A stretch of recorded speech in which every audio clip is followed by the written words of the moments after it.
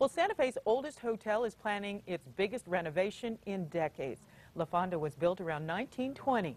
Managers of the landmark hotel want to redo 162 of the 176 rooms, build a new staircase, and also some other improvements.